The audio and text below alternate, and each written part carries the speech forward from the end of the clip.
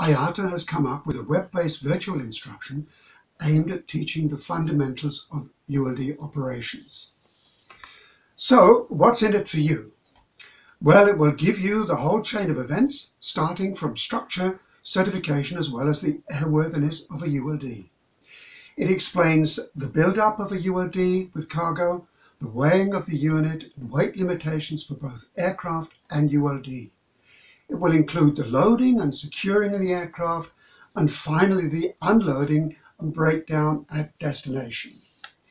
With this course, you will get an insight in the day of the life of a ULD. The abbreviation ULD will not just be an expression anymore.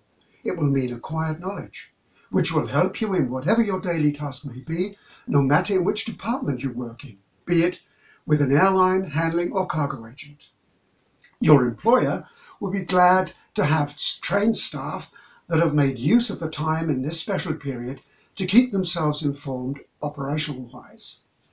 You will benefit and your employee will know that he or she will have trained staff ready for when the economy gains momentum again. It will be a win-win situation for all. Looking forward then to seeing you soon.